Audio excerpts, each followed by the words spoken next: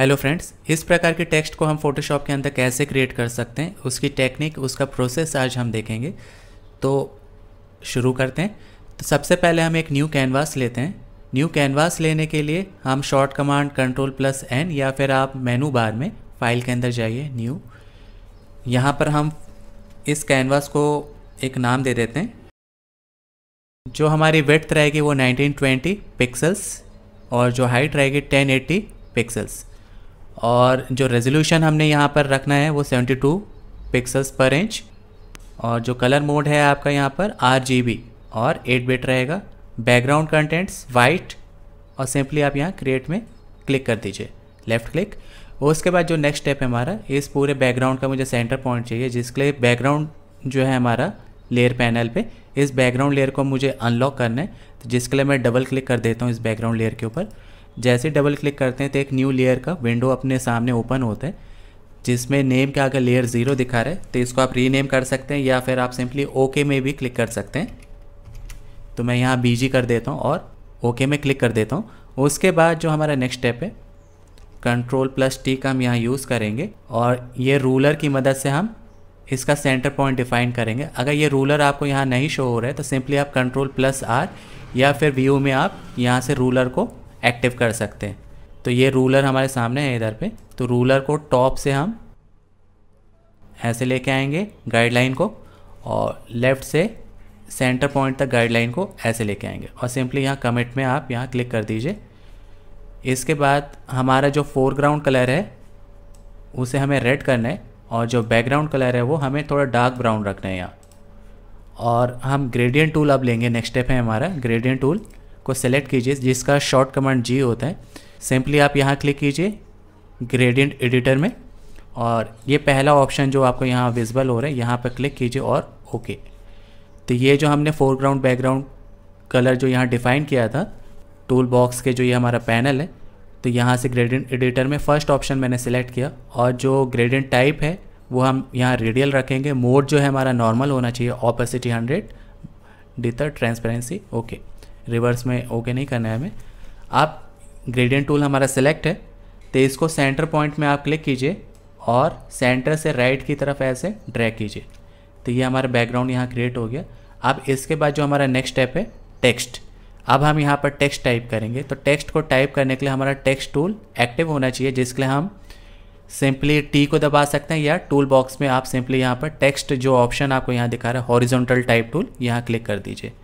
और सिंपली आप यहाँ पर अपने कैनवास के ऊपर क्लिक कीजिए। जो भी कंटेंट्स आप यहाँ टाइप करना चाहते हैं, वो लिख सकते हैं।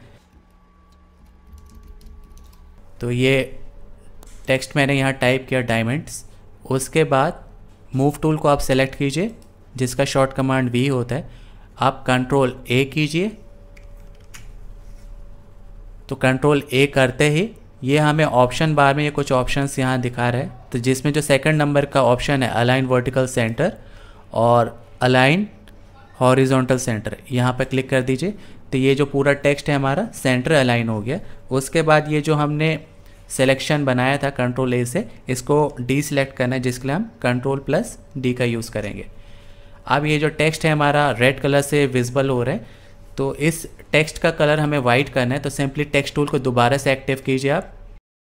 और ये जो ऑप्शन बार में ये जो रेड कलर का आइकन दिखा रहा है आपको चेंज करने का जो ऑप्शन है हमारा टेक्स्ट का, यहाँ पर सिंपली क्लिक कीजिए और यहाँ से वाइट कलर कर दीजिए।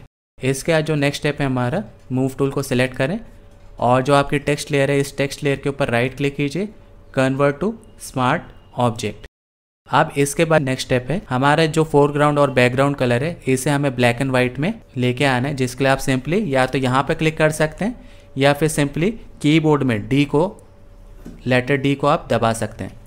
तो ये हमारा फोरग्राउंड ब्लैक कलर और बैकग्राउंड वाइट कलर हो गया। इसके बाद हम फ़िल्टर में जाएँगे यहाँ। फ़िल्टर के अंदर आप जाएँगे और रेंडर्स के अंदर हमें जाना है डिफरेंस क्लाउड इसमें आपको क्लिक करना है। तो ये हमारा टेक्स्ट में कुछ क्लाउड्स का इफ़ेक्ट यहाँ पर आ गया है। इसके बाद जो नेक्स्ट स्टेप है मेनू बार में फ़िल्टर के अंदर जाएँगे और इस बार हम फ़िल्टर गैलरी में जाएँगे। फ़िल्टर गैलरी में जाने के बाद यहाँ पर हमें बहुत सारे ऑप्शंस दिखा रहे हैं, जिसमें हमें डिस्टॉर्ट के अंदर जाना है और डिस्टॉर्ट में ग्लास ग्लास में हम जाएँगे और जो डिस्टॉर्शन है हमारा, हम यहाँ पर 18 परसेंट एटीन वैल्यू इसकी ले रहे हैं। स्मूथनेस हम यहाँ वन रखेंगे और टेक्सचर जो टाइप है उसमें टाइनी लेंस और जो स्केलिंग है यहाँ पर मैं 63 परसेंट रखता हूँ और सिंपली आप यहाँ पर ओके में क्लिक कर दीजिए। तो ये हमारा टेक्स्ट कुछ इस प्रकार से अभी क्रिएट हो चुका है। इसके बाद जो हमारा नेक्स्ट स्टेप रहेगा, हमें इस टेक्स्ट को थोड़ा और ब्राइट करना है, जिसके लिए मैं एडजस्टमेंट लेयर का यहाँ यूज़ करूँगा। जिसके लिए आप लेयर पैनल पे यहाँ पर क्लिक कीजिए, जो फोर्थ ऑप्शन है आपको लेफ़्ट से, राइट की ओर, फोर्थ वाला जो ऑप्शन है, यहाँ पर क्लिक कीजिए, और कर्व्स हम यहाँ पर कर्व्स एडजस्टमेंट का यूज़ करेंगे तो कर्व्स में आप क्लिक कीजिए और उसके बाद टेक्स्ट लेयर की ब्राइटनेस को बढ़ाने के लिए इस कर्व एडजस्टमेंट का हम यूज़ करके टॉप से ऐसा थोड़ा स्लाइडर हम राइट से लेफ़्ट की ओर ऐसा बढ़ाएँगे। इसके बाद ये जो छोटा सा आइकन आपको दिख रहा है क्रिएट क्लिपिंग मास्क का, इसमें आप क्लिक कर दीजिए या फिर आप जो कर्व एडजस्टमेंट वाली लेयर हमारी बनी है ऑल्ट दबाकर माउस का पॉइंटर यहाँ पर जब लेके आएँगे तो ये छोटा सा आइकन आपको ऐसा दिखाएगा। सिंपली यहाँ पर ऑल्ट के साथ आप लेफ़्ट क्लिक कर दीजिए तो ये क्लिपिंग मास्क हो जाएगा। तो ये केवल हमारे टेक्स्ट लेयर के ऊपर इफ़ेक्ट करेगा। देखिए इसको ऑन ऑफ़ करके इसकी विजिबिलिटी ऑन ऑफ़ करके भी आप देख सकते हैं। इसके बाद जो हमारा नेक्स्ट स्टेप है, इसको यहाँ से बंद कर लेते हैं हम। टेक्स्ट लेयर को सेलेक्ट कीजिए। एफ़ में जाना है हमें। एफ़ में स्ट्रोक स्ट्रोक में हम जाएँगे, जो इसका साइज़ है वह हम 8 पिक्सल्स लेंगे। पोजीशन जो हमारी रहेगी सेंटर इसको मैं 10 ले लेता हूँ यहाँ पर, और पोजीशन सेंटर हम यहाँ ले लेते हैं। ब्लेंड मोड नॉर्मल ऑपोसिटी 100 रखेंगे। फिल टाइप में हम यहाँ पर कलर रहता है बाय डिफ़ॉल्ट इसको आप ग्रेडियंट ले लीजिए। उसके बाद ग्रेडियंट एडिटर में आप सिंपली यहाँ पर क्लिक कीजिए ऐसे। और ये जो गियर बॉक्स है आपका, यहाँ पर क्लिक कीजिए। मेटल ऑप्शन को आप क्या कीजिए यहाँ पर? क्लिक कीजिए। एपेंड में आप यहाँ पर क्लिक कर दीजिए। एपेंड में क्लिक करते ही ये आपको स्टील के बहुत सारे इफेक्ट्स यहाँ पर दिखाएगा ग्रेडियंट के, जिसमें हमें सेकंड लास्ट ऑप्शन जो है इसमें स्टील बार वाला, इसको सिलेक्ट करना और सिंपली ओके में क्लिक करना है। तो ये हमने यहाँ पर अप्लाई कर दिया। इसके बाद जो नेक्स्ट स्टेप है हमारा, हमें बेवल इसके ऊपर अप्लाई करना है। तो बेवल में आप सिंपली यहाँ क्लिक कीजिए और इसे एक्टिव कर दीजिए। स्टाइल हमारा यहाँ पर स्ट्रोक एम्बोज रहेगा। टेक्निक हमारी स्मूथ रहेगी यहाँ पर। और जो डेप्थ है, इधर पे 880 हम ले रहे हैं। 850 ले लीजिए नॉट एन इशू तो यहाँ पर बेसिकली मैं 880 ले रहा हूँ। उसके बाद जो साइज़ है हमारा, वो 10 रहेगा इधर पे। डायरेक्शन अप सॉफ्टनेस ज़ीरो और ये जो वैल्यू है 90 इधर जो दिखा रहे हैं, इसको हम 120 कर देते हैं। और जो ग्लॉसी कंटूर है सिंपली आप यहाँ पर क्लिक कीजिए और इसमें आप जो ऑप्शंस प्रीसेट डिफ़ॉल्ट बने हुए हैं कंटूर एडिटर के अंदर प्रीसेट्स के अंदर, इसमें कौन इन्वर्टेड इस ऑप्शन को सेलेक्ट कर लीजिए और सिंपली ओके में क्लिक कर दीजिए। तो ये इस प्रकार से हमारा टेक्स्ट यहाँ क्रिएट हो चुका है। इसके बाद इस टेक्स्ट का मुझे रिफ्लेक्शन बनाना है। तो इसका रिफ्लेक्शन बनाने के लिए हम अपनी जो ये टेक्स्ट वाली लेयर जिसको हमने कन्वर्ट टू स्मार्ट ऑब्जेक्ट किया था, इसको सिंपली आप ऑल्ट दबाकर आपकी एडजस्टमेंट वाली जो लेयर है, उसके ऊपर ऐसे छोड़ दीजिए। तो ये हमारे यहाँ पर उसकी एक डुप्लीकेट कॉपी बन गई है। इसके बाद हमें क्या करना है? कंट्रोल टी ओके में क्लिक कर दीजिए। इसका जो एंकर पॉइंट है सेंटर पे, इसको आप सिंपली यहाँ पर रखिए ऐसे और राइट क्लिक कीजिए इसके ऊपर फ्लिप वर्टिकल और डबल क्लिक कर दीजिए या कमिट ट्रांसफॉर्म में क्लिक कर दीजिए, या फिर आप एंटर भी कर सकते हैं। ये हो गया। अब आप इसको थोड़ा जूम करके देखिए, ये दोनों टेक्स्ट के बीच में थोड़ी सी स्पेसिंग है। तो इस स्पेसिंग को दूर करने के लिए हम कीबोर्ड में एरो की अप एरो की का यूज़ करके ये टेक्स्ट को आपस में मिला सकते हैं इसे। तो ये हमारा टेक्स्ट यहाँ पर मिल गया। इसके बाद ये जो आपकी टेक्स्ट वाली लेयर है, इस टेक्स्ट वाली लेयर को आप लेफ़्ट क्लिक दबाकर ड्रैग करके बैकग्राउंड वाली लेयर के ऊपर रख दीजिए। ऐसे। और इसको हम रीनेम कर देते हैं। ये जो हमने रिफ्लेक्शन वाली लेयर बनाई थी तो ये जो डायमंड कॉपी यहाँ पर दिखा रहे हैं, इसके ऊपर आप डबल क्लिक कीजिए।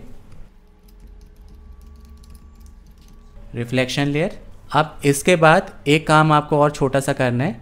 रिफ्लेक्शन वाली लेयर सेलेक्ट करके रखिए। एफ़ के अंदर जाइए ब्लेंडिंग ऑप्शन में क्लिक कीजिए यहाँ पर। ब्लेंडिंग ऑप्शन में आपको ये जो ईदा पे एक ऑप्शन दिखा रहा है लेयर मास हाइड इफ़ेक्ट इसमें आप क्लिक कर दीजिए। ओके में क्लिक कर दीजिए।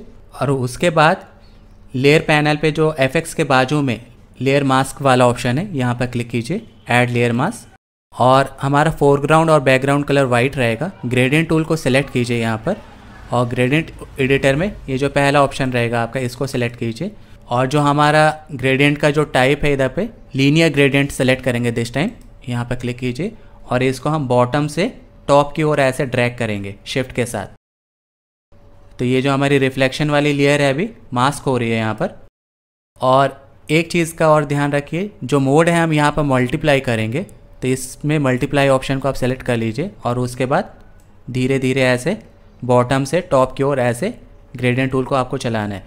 लेकिन इस चीज़ का ध्यान रखिए कि आपका जो मास्क आपने लेयर मास्क लगाया था, ये लेयर मास्क हमने एक्टिव होना चाहिए। अगर गलती से आप यहाँ पर आ गए तो ये मास्क आपका काम नहीं करेगा। इस चीज़ का ध्यान रखें कि ये एक्टिव है आपका। और इसको हम बॉटम से टॉप की ओर ऐसे ड्रैग करेंगे, जितनी हमारी रिक्वायरमेंट है। ये देखें तो ये इस प्रकार से हमारा यहाँ रिफ्लेक्शन बन गया। अब ये काफ़ी मेरे को शार्प दिख रहा है यहाँ पर। तो इसकी ऑपोसिटी कम करने के लिए आप सिंपली मूव टूल को सेलेक्ट कीजिए। और इसकी जो ऑपोसिटी है रिफ्लेक्शन वाली लेयर की आप यहाँ से कम कर सकते हैं, या फिर आप कीबोर्ड में नंबर पैड का यूज़ करके भी इसकी ऑपोसिटी को कम कर सकते हैं। जैसे अगर मेरे को इसकी ऑपोसिटी 50 परसेंट करनी है तो सिंपली आप कीबोर्ड में 5 को दबाएँगे। देखिए 5 को दबाते ही ये आप देख सकते हैं यहाँ पर ऑपोसिटी कितनी हो गई फिफ्टी परसेंट ठीक है? तो इसकी रिफ्लेक्शन वैल्यू के लिए ऑपोसिटी मैंने 50 परसेंट रखा या 70 भी आप रख सकते हैं यहाँ पर। तो हम यहाँ पर 50 ले रहे हैं। तो ये हमारा रिफ्लेक्शन बन गया है यहाँ पर। इसके बाद ये हमारा इधर पे ये टेक्स्ट इफ़ेक्ट क्रिएट हो चुका है। अब इसके बाद जो हमारा नेक्स्ट स्टेप है, ये जो टेक्स्ट है काफ़ी ब्राइट दिख रहा है तो इसकी ब्राइटनेस को थोड़ा और एडजस्ट करने के लिए दोबारा वंस अगेन में अपने एडजस्टमेंट लेयर में जो कर्व्स हमने अप्लाई किया था अपनी मेन टेक्स्ट लेयर के ऊपर, इसमें आप डबल क्लिक कीजिए। इसकी ब्राइटनेस को हम थोड़ा सा और कम कर देते हैं, बस इतना। अब ये हमने पूरा इफ़ेक्ट यहाँ क्रिएट कर लिए। लेकिन यदि आपको इस प्रकार का इफ़ेक्ट किसी दूसरे टेक्स्ट या दूसरे कंटेंट्स के ऊपर अप्लाई करना है तो क्या दोबारा से हमें ये प्रोसेस करना पड़ेगा? नहीं। आप अपनी मास्टर लेयर जो है आपकी डायमंड वाली, जिसे हमने कन्वर्ट टू स्मार्ट ऑब्जेक्ट किया था, इसके ऊपर सिंपली आप डबल क्लिक कीजिए। डबल क्लिक करते ही ये जो डायमंड वाली जो हमारी मास्टर लेयर थी, वो एक अलग से कैनवास में खुल जाएगी। टेक्स्ट टूल को आप सिलेक्ट कीजिए। सिंपली टी का यूज़ कर सकते हैं या टूल बॉक्स में आप टी को यहाँ से एक्टिव कर सकते हैं और अपने टेक्स्ट लेयर को सिलेक्ट कीजिए और यहाँ पर जो टेक्स्ट है उसे चेंज कर दीजिए, जो भी आप लिखना चाहते हैं। तो हम यहाँ पर टेक्स्ट को चेंज करते हैं। ये हमने टेक्स्ट को यहाँ टाइप कर दिया। लेकिन ये जो टेक्स्ट है, मेरे कैनवास से बाहर जा रही है। तो इस कैनवास को मेरे को क्या करना पड़ेगा? रिवील करना पड़ेगा, जिसके लिए हम इमेज में जाएँगे रिवील ऑल यहाँ पर सिंपली आप क्लिक कर दीजिए। तो ये जो थोड़ा बहुत हमारा टेक्स्ट कट रहा था वो कैनवास ऑटोमेटिकली उसके अकॉर्डिंग सेट हो गया। अब ये टेक्स्ट को हमने यहाँ पर रिवील किया और टेक्स्ट चेंज कर दिया। इसके बाद जो हमारा नेक्स्ट स्टेप है, इस कैनवास को आप बंद कीजिए यहाँ पर। तो ये आपको सेव के लिए पूछेगा। तो सिंपली आप यस कर दीजिए यहाँ पर। तो जैसे हमने यहाँ सेव में क्लिक किया, देखिए ये टेक्स्ट पूरा का पूरा यहाँ पर आपका चेंज हो गया। और ये जो बैकग्राउंड है, इस बैकग्राउंड के कलर को अगर आप चेंज करना चाहते हैं तो बैकग्राउंड लेयर को आप सेलेक्ट कीजिए और एडजस्टमेंट लेयर के ऊपर आप क्लिक कीजिए और यहाँ पर हम यू ऑप्शन को सेलेक्ट करेंगे। यू ऑप्शन में आप इसकी यू की वैल्यू को यहाँ से चेंज कर सकते हैं।